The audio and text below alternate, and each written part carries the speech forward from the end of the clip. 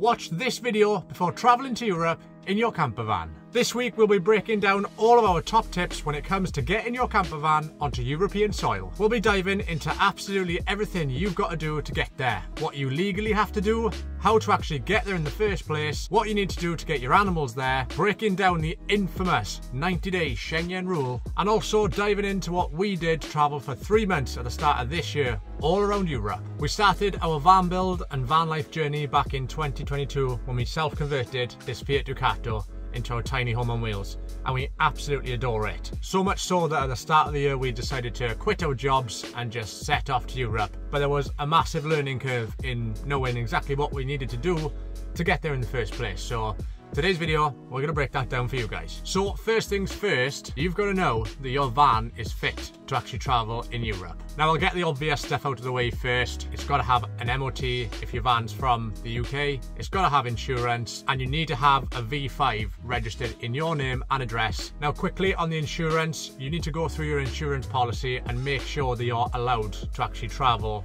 around Europe. And then on a similar subject to the insurance, it's a really good idea to have European breakdown cover. You can get dedicated European breakdown cover, but we found it a little bit easier and also a little bit cheaper to get it mixed in with our general UK breakdown cover. Shop around, go with a company you're comfortable with, but just make sure that you're covered in Europe. So now you've checked your insurance and your breakdown policy, it's time to start thinking about where you're going to be actually driving when you get to Europe. Now most people come over the tunnel or the ferry into France, so it's a really good idea to get a vignette for your vehicle. Now, rules are changing constantly with vignettes, but if you plan on traveling to any of the big cities, Paris, Bordeaux, you're gonna need a vignette on your vehicle. Now, after you've got the Crit Air sticker and you know your number, you can go online and check which cities you're able to travel to. And also, a side note with vignettes, there are loads of sites which are basically scam sites which will upsell you the Crit Air sticker. The Crit Air sticker is only a few pounds and it's shipped directly from France. So don't go paying 15, 20 quid for vignette stickers. You don't need to. Legally, you have to drive with Eurolight stickers on your vehicle. They're essentially these little stickers that you put on your headlights to deflect the beam to the right side of the road when you're in Europe. But I will say they're a little bit of a pain to fit, so set aside at least half an hour to figure out the placement of the stickers on your vehicle. But obviously, when you get back to the UK, make sure you take them off.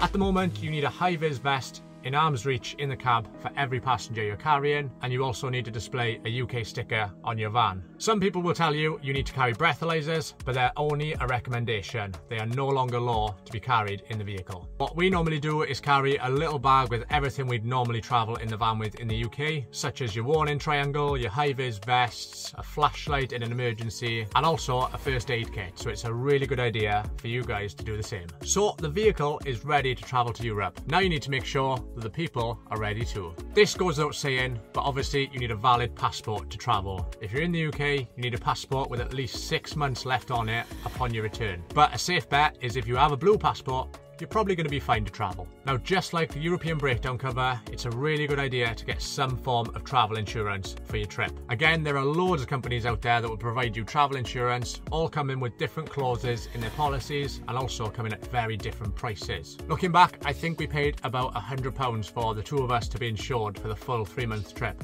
and it covered us for a ridiculous amount of money if we ever needed to use any of the medical facilities in whatever country we were in. It also covered our gadgets like our phones, laptops, camera, drone, it covered everything. So we had complete peace of mind that if we got anything lost or damaged, then we'd be able to claim on the insurance and get all that money back. And now, way more important than the van and the people that are going to Europe, you've got to make sure that if you're taking animals, they're fit to travel as well. Now this is a minefield of a subject to go into. If you do want a dedicated video just on taking pets over to Europe, I'm more than happy to do it, so let me know down in the comments. And while you're floating around the comments, you should probably drop the video a like and subscribe if you haven't already. But yes, taking animals is a little bit of a headache. We've got a little dog and we found it a little bit stressful when planning on taking her over to do our three month trip. But there are two main ways you can take your animals. The first and more expensive being animal health certificates and the second easier and cheaper option is pet passports. Animal health certificates are done by your vet and your dog has to be over 12 weeks old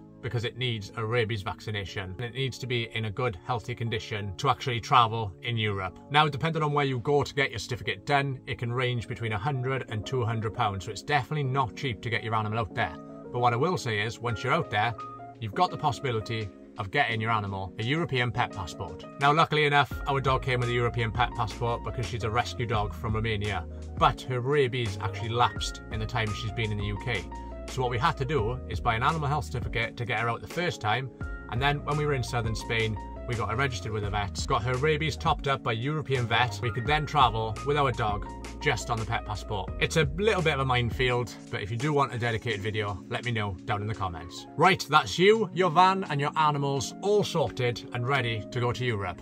Now you've got to get there. We've travelled to Europe on two separate occasions, and both times we've travelled a different way. The first time we took the Eurotunnel, the second time we took the ferry.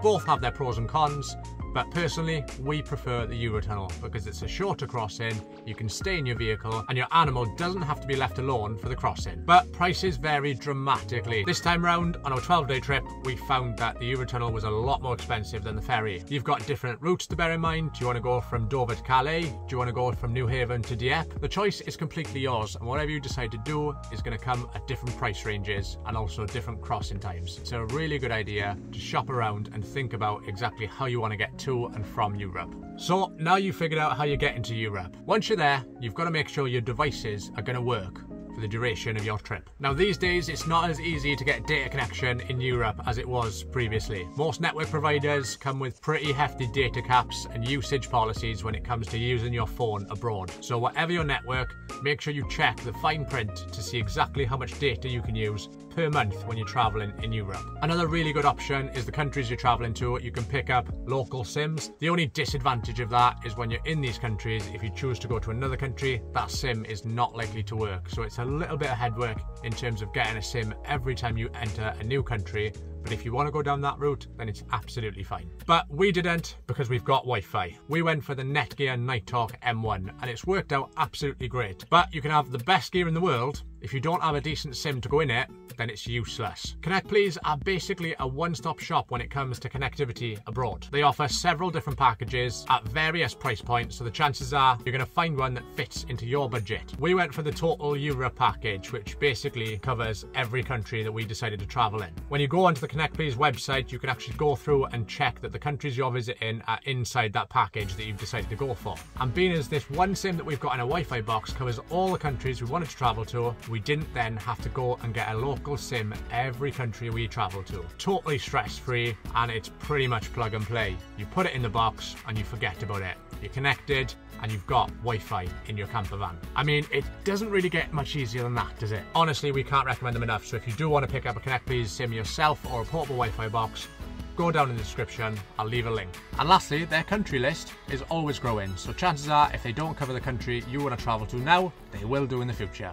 But with that being said and done, it's time to move on to something that I think a lot of people forget about when travelling in a camper van, especially in Europe. You need to be packing appropriately for each country you want to visit. Now, we were away for three months at the start of the year. January, obviously winter, temperatures weren't the best and we were met with horrible weather in France. We were in courts, we had loads of layers on and the weather was shocking. As soon as we got down to southern Portugal area, the weather started to improve. So out came the vests, the shorts, the sunglasses, and the coats were left in our boot. But then after we travelled Portugal, Spain, and Italy, we went into Switzerland, which was absolutely freezing. It was snowing, it was freezing cold. Our diesel heater was pretty much on 24 7, and the coats came back out, as did all the layers. I really can't stress this enough. Do not pack for a one climate trip because the chances are if you're doing an extended road trip you're going to see all weathers and all temperatures and on the topic of traveling to loads of different countries in an extended road trip don't underestimate drive times in Europe. Now, if you're from the UK, you'll be used to doing a couple of hours here and there to get from A to B, and nothing is really that far away. But in Europe, the drive times can be pretty substantial. Now, we didn't really think too much into the drive times. We just skimmed over it and thought it would be fine we quickly realised that is not the case. So for our trip at the start of the year, our first stop in France was actually Mont Saint-Michel, but we came over on the Eurotunnel into Calais. So when we actually got into France, we realised we had a five and a half hour drive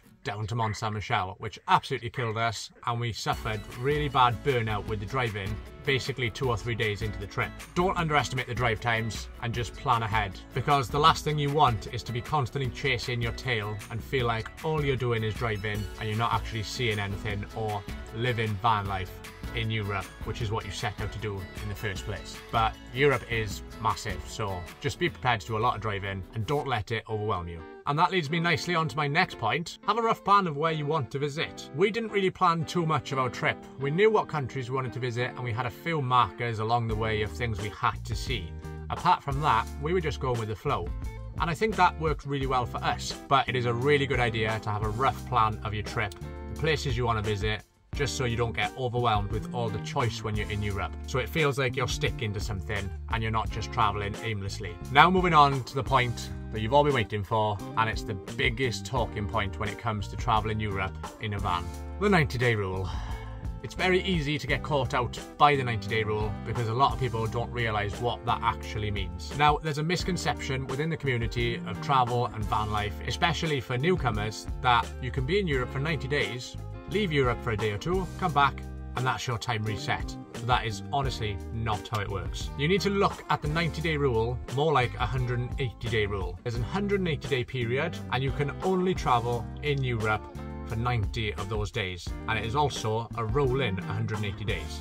So if you went into Europe on the 1st of January, that is the start of your 180 days. So if you did a week here and there, as long as you're not in Europe for more than 90 days, on a 180 day period from the first time you entered Europe then you're absolutely fine. But like I said, it's a rolling period, so as time goes on, days will start to drop off, weeks will start to drop off, and your time will gradually reset. If you're doing the full 90 days in one go, exactly how we did it, then that 90 days is going to be eaten up with the entire trip. So after you leave Europe, you've got to wait 90 days to come back to Europe again. Otherwise, you risk getting some pretty hefty fines, and even in some cases I've read, get bans from Europe absolutely mental. The 90 day rule can be a little bit difficult to get your head round. There are certain ways to get around it, and I hate saying it, but it's been branded the Schengen Shuffle. There are certain countries around Europe that you can enter which aren't in the Schengen zone. So when you're in those countries, you are not accruing days on your 90 day limit. Countries like Turkey, Morocco are not in the Schengen zone. So when you decide to do your road trip, make sure you know exactly what countries are in and not in the Schengen zone to avoid being caught out by this ridiculous rule. A lot of people like to do the Schengen shuffle by spending three months in Europe and then going to Turkey for three months, or going to Morocco for three months. And then, once you've spent three months outside of the EU, you can come back into the Schengen zone and your 90 days have been reset and that is a way that you can travel pretty much endlessly, avoiding the whole 90 day rule thing. It's a minefield, I hate it, everyone hates it, but we've just got to live with it, I guess. And the last point to mention is just have an absolutely fabulous time. Traveling Europe is the best thing we have ever done, and traveling in a camper van is unlike anything we've ever done before. It is absolutely top tier. You get to immerse yourself in all these countries, listen to all these different languages, see how people really live and you get to go off the beaten track, which is one of the best things we love about van life. We honestly could spend years in Europe travelling if money was no object, and we'd quite happily do so. There is really so much to see and do. You can completely immerse yourself and just live life how it's supposed to be lived.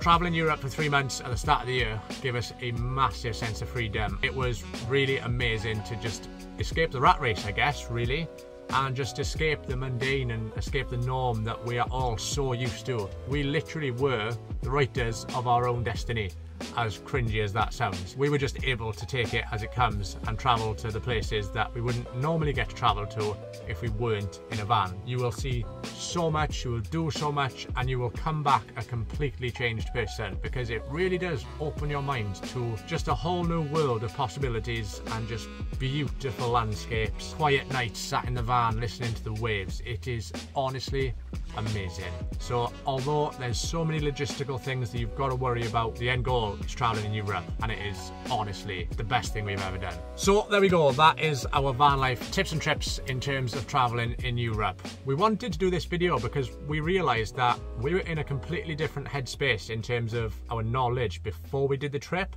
and we know there are thousands of people out there who could potentially benefit from all this hindsight that we've accumulated over the last year. If you want any clarification or a bit more information on anything I've mentioned in this video, drop a comment down below. I'll get back to you as soon as I can. We have got a lot of knowledge between us of travelling in individual countries in Europe and we plan on doing a little mini series of certain things to watch out for and certain things that you just have to see when you're traveling in Europe, especially in the more common countries like France, Portugal and Spain. But we did do 10 countries at the start of the year, so there'll be a lot of tips covering all those countries in the videos to come. But this video was kind of aimed towards those people who are yet to travel Europe, or maybe have travelled Europe, but still don't really understand how to get there safely and legally. It seems travel these days is just getting more and more complicated, and you're expected to jump through more and more hoops as the years go on, but just allow yourself enough time to get all this logistical stuff done and out the way, and then forget about it, and enjoy your amazing van life trip in Europe. And for those of you that are traveling Europe in the next couple of months, we are so jealous and we wish we were coming with you. Because at the moment, we're back in the UK and we're working, building up that pot, ready to do it all again next year. But that's it from us. We really hope you enjoyed it. If you are new to the channel, hit that subscribe button. If you did like it, drop the video a like, and if you've got any questions or comments about anything I've discussed in this video or anything you've seen on our channel previously, let me know down in the comments. I'll get back to you as soon as I can. But we hope you have an absolutely amazing time traveling in Europe, wherever it may take you, in whatever vehicle you may take it in. Stay tuned for the next one, but until then, we'll catch you next time.